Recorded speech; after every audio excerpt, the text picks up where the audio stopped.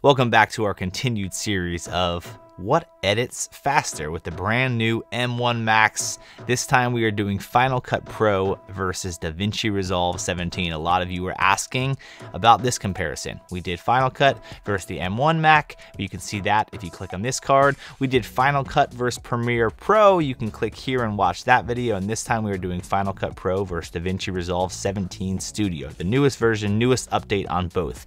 This is the M1 Max, the brand new 16 inch with the specs all the way to the top. So this computer is as fast as you can currently get from Apple in the laptop series. And I'm excited to see just how DaVinci Resolve handles all this computer. If you didn't get a chance to watch the previous videos, we have the exact same timeline set up on both softwares. So there are four identical clips, 20 minutes in length total, as well as six additional clips on top of that that are in 4K 120 frames a second. The main clips are in 4K 24 frames a second, all in 10 bit. So we are trying to make the computer work hard. We also have an adjustment layer on top with a LUT and some basic color correction just to make sure that it has to render. Background rendering is off on both the programs. So we are just gonna let them export and see which one edits and exports faster. So let's jump right into Final Cut Pro here. We're gonna open up our Tempest clock so that you can see the export happening in real time and how much time is on the clock. We are going to go here to export. We are going to go to settings. We are going to choose video and audio H.264. Save only 8.5 gigs is our approximate output. We are going to save this directly to the desktop and we're going to call this Final Cut Pro. And as soon as I hit save, we will hop right over to Tempest and hit start. So here we go. We are going to hit save in three, two, one, save, and start the clock. And then we'll set this here.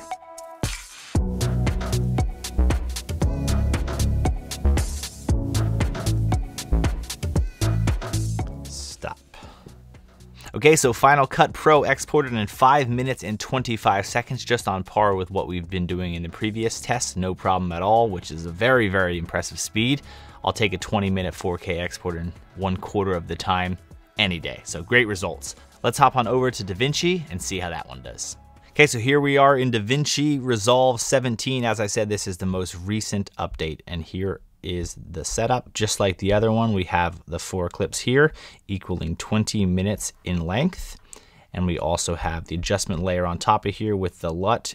Yes, it looks terrible, but I didn't adjust the LUT. I just threw it on so that we could do some testing. And then I have the four 120 frames per second clips here. So it's exactly the same as it would be. So real quick, since we did this on all the other programs, let's just take a quick look at some of the footage in DaVinci here so we can see how it plays just in the actual browser. So if I click on some of these 4K 120 frames a second clips, you can see that they have no problem playing. I do like how DaVinci has this little dot up here that shows you how it's playing if it's if it has any sort of issues with playback. As you see, I can play it, I can fast forward a little bit. No worries, everything's playing super fast.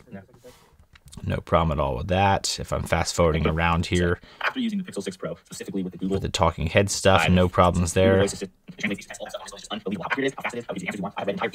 I would expect there to be no issues with that. Final Cuts had no issues with it. Premieres had no issues. So all that looks fine. No worries there whatsoever. So we're going to go ahead here and go to deliver and we're going to choose over here the file name. We're going to save this directly to the desktop and we're going to title this DaVinci Resolve. And we're going to hit save, and then we're going to go here and check everything else. QuickTime H.264, 4K, 24 frames a second, automatic quality. Encoding profile is going to be auto, auto, and we're basically leaving everything at what is kind of standard. I am not a super experienced DaVinci editor, so I know that we can get into a lot of settings and a lot of changes, but with Final Cut, when we are doing that default export, we're not changing all of those details. So some people go into a lot of detail in these comments about like, we need to change this and change that and change this. We're going with the standard setups, which most people are just going to export in. Yes, I could go into Final Cut and do a lot of tweaks to all the different renders and all the different things, but we're just doing it right out out of the box here. So this is an H.264 QuickTime and letting it do its export as the more common person would do and as I would do. If I was exporting right now as an editor in DaVinci, this is what I would do. So you first add to render queue, you'll see that it jumps over here and is ready to render.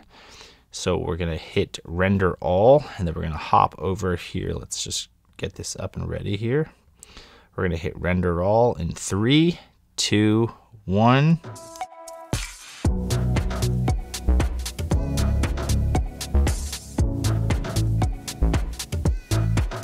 and done. Five minutes and eight seconds for DaVinci Resolve to export that exact same file. So just about 18 seconds faster in DaVinci than Final Cut. Once again, very surprising result to me because with these brand new computers, I obviously expected big results and we've gotten big results. Very fast exports in all the programs, including Final Cut.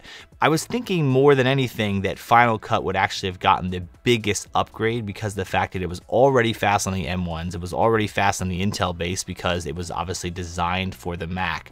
So I'm really, really surprised to see DaVinci and Premiere both actually having faster export times. Now, obviously, that's only one part of the equation when it comes to editing. There's still the edit itself, the way that it handles the clips, the way that it previews the clips, all that stuff. There's lots more than just the export times. This video is just to show that export time because that's obviously a big thing that we all do with videos a lot as we export. So when we can save time there, that's great. It's also the easiest metric to see and show you quickly because if I spend a ton of time editing, that's only for so many people to watch. This is kind of just a good side-by-side -side comparison. But it is surprising. I will be really surprised to see if when Apple comes out with their next update to Final Cut Pro, whenever that is, like the next point, whatever update, if things change. Because there has not been a new Final Cut update since the M1 Pro and M1 Max was released. There was an update, I believe, two weeks ago before these computers came out. So are they working on something perhaps in the background that'll make that crazy fast? Who knows? But it is very good results to see if you are someone that is not using Final Cut because for the first time it looks like these computers finally can handle all the other applications which is great because if you're an editor you might not just use Final Cut you might use DaVinci you might use Premiere you might use anything and we're seeing great results and a great great speed improvement on all those programs so Hopefully this was helpful. If you're a DaVinci editor, it looks like you've gotten some great speeds as well. And if you're new around here, consider subscribing. There's lots more videos, as you see, coming about the M1 Max and a lot of stuff regarding video. So if that's something you're into, come on back, hang out. Thanks for watching.